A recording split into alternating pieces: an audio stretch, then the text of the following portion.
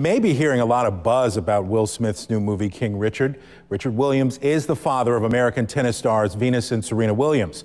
Well, Mississippi's own Aunjanue Ellis stars as their mother, Oracene. She tells me this film is about the entire family. I got these two great tennis players. All we need is a club. You may be hearing a lot of buzz about Will Smith's new movie, King Richard.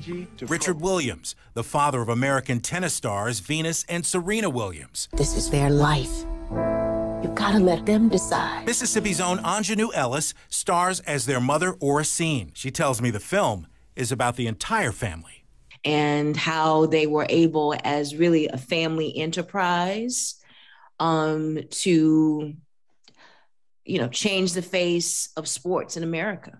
We could have our own place. Ellis is no stranger to the big screen with roles in the movie Ray, Men of Honor, The Help, and If Beale Street Could Talk. The FBI Academy. and on our TV screens for When They See Us and Lovecraft Country, just to name a few.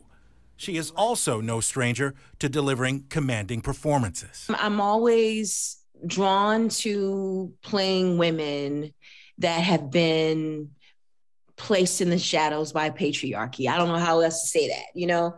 The two time Emmy nominated actress is getting a lot of Oscar buzz for her work in King Richard, but she continues to make her mark off screen for her advocacy and activism too.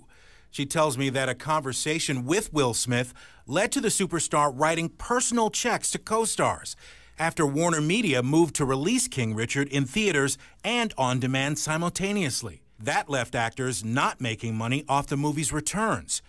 Ellis tells me she took that up directly with Will. I was telling him about the inequity of Black women's pay in this industry. I was only going to have that one check from King Richard, mm. you know?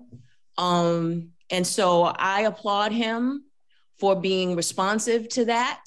Mm-hmm. Um, and, you know, because he did that, um, you know, one of my family members can walk into a house that they own. Now, Ellis's activism doesn't begin and end with pay and equity in Hollywood.